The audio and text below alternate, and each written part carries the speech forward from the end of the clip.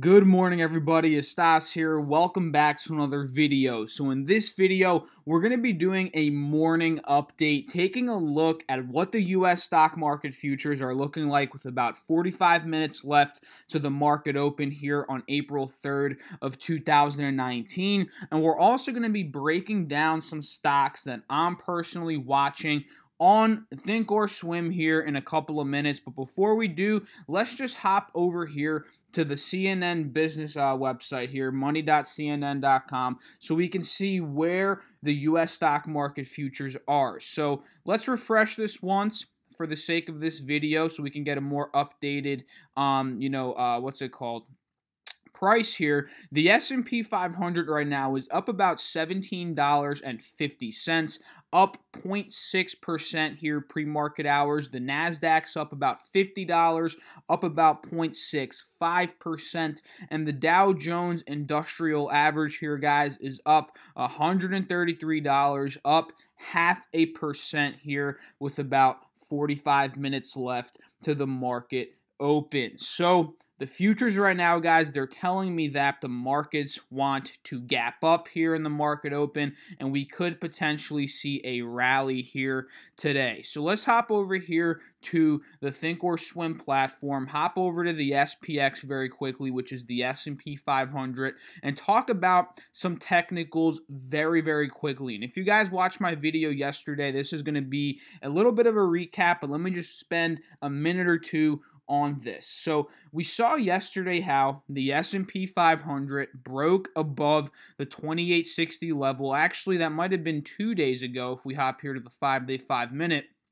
But nonetheless, we broke out of that 2860 resistance, which was a previous resistance from a couple of weeks ago. And yesterday, we had that consolidation day on top of that resistance as a new support level, right? And in yesterday's video, I was talking about a couple of different scenarios that could play out today, right? Since we had a consolidation day today or yesterday, today we could A, see another consolidation day. We could B, start to sell off, potentially break the support due to the RSI being overbought, and due to every time in the past that we push to a higher high. We saw a sell off in the coming days, or C, we would bounce on top of this level and push up and really just continue the push to the upside. And as we saw in the futures, that scenario C is what is happening right now, right? We can't we can't see the pre-market movement here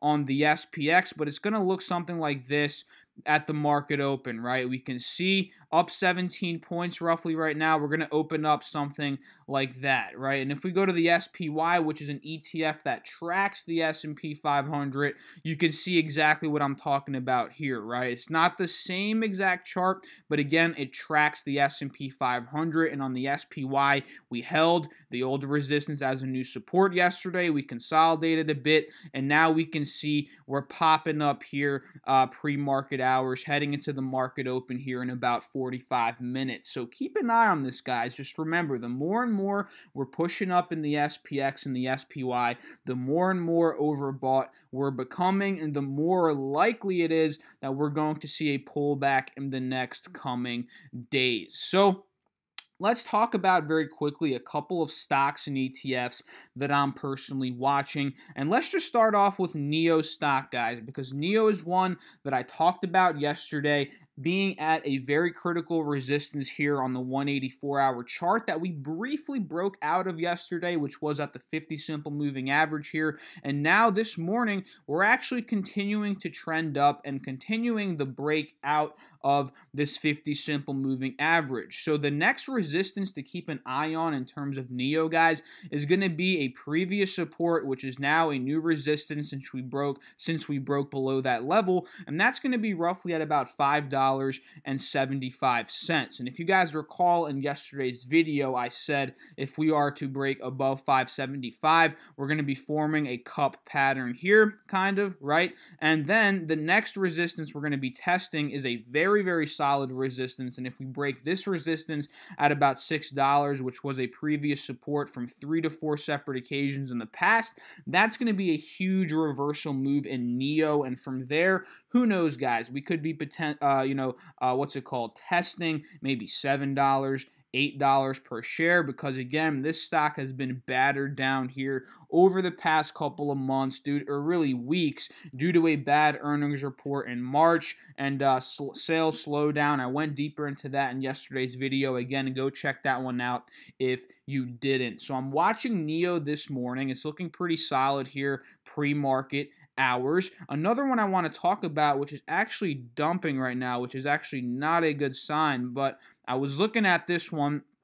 Uh, which is gold here, and gold has two ETFs we trade, which is JNUG and JDST. And the thing that I'm liking here on gold, guys, is on the 20 day, one hour chart, the chart that you're seeing right here, this 50 simple moving average has been acting as a resistance over the past couple of trading days, right? We can see the big tank from 1325 down to about 1291 here on gold. And really, we've been getting rejected on multiple different occasions here by the 50 SMA. We can count one a couple of times here. We tried to break out of it a couple of days ago, got rejected ultimately, pushed to a lower low. And now, what I'm liking, I'm sure you guys can probably see and really guess what I'm about to say, is we're finally breaking out of that resistance and we're maintaining the 1296 support again from a couple of weeks and months ago. And if I go to this longer term chart, you can see what I'm talking about here. You know, this has been a support really from uh, you know from uh, the beginning of January, right? An old re- uh, old resistance, now a new support, and from a couple of weeks ago back during this time period. And if we hop back over here to the 20 day one hour, just take a look, guys. We're maintaining the 50 SMA as a support now. Again, that same support 1296. So just keep an eye. Is gold going to slowly start to trend up from here? Possibly break these 1300 levels, maybe 1305. These are resistances we need to break out of, and ultimately the 180 SMA resistance here for us to just really continue this uptrend. And honestly, if we do a little cup pattern here, I think that's very, very possible. So just keep an eye on JNUG, which again is an ETF that goes up whenever gold is going up. This could be a potential play again if we do slowly start to confirm the start of this cup pattern here. So that is one. Um, you know, those are the, really the two main ones I'm watching this morning, guys. Honestly, gold and NIO. Um, NVIDIA is one that we talked about in yesterday's video as well. And I'm in NVIDIA, and we're actually trending up this morning. We're really at my sell uh, target price here, which was at $185 per share. So I'm most likely just going to liquidate my position here in NVIDIA once the market opens and look for a re-entry. I've been in since about 176. I added a bit more money, I believe at about 180 or something like that a couple of days ago. So now I'm up a pretty good amount of my position. And again, we hit my sell target at 185.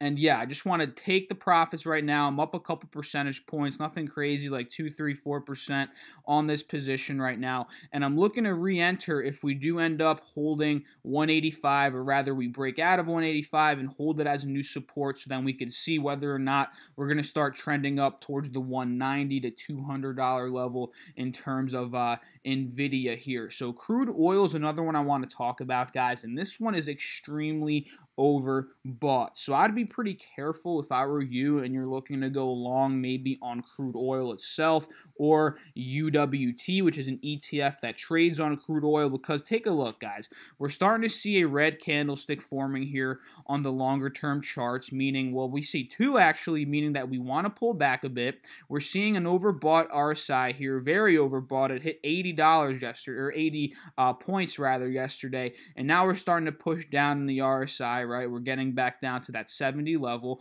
And honestly, guys, you know, this is something that is really overextended and in my eyes based on my analysis do your own analysis of course don't do uh, you know don't just base your decisions off my um, uh, analysis here you know i think we're due for a pullback here whether it's 1 2% 1% half a percent whatever it is i think we're due for a pullback and a retest roughly at about $61.50 and let's say we do get that today right you know we could end up playing dwt which is an inverse ETF to UWT, right? A, a DWT goes up when crude oil is selling off, and when uh, crude oil is going up, UWT is going up, right? So we can pretty much play in and out of these inverse ETFs. If we do get that pullback, we'll play DWT. If we get that retest here and a potential confirmation that we're pushing back up, you know, we can hop into UWT from there. So those are just a couple that I'm watching this morning, guys. Let's just take a look at Tesla for fun.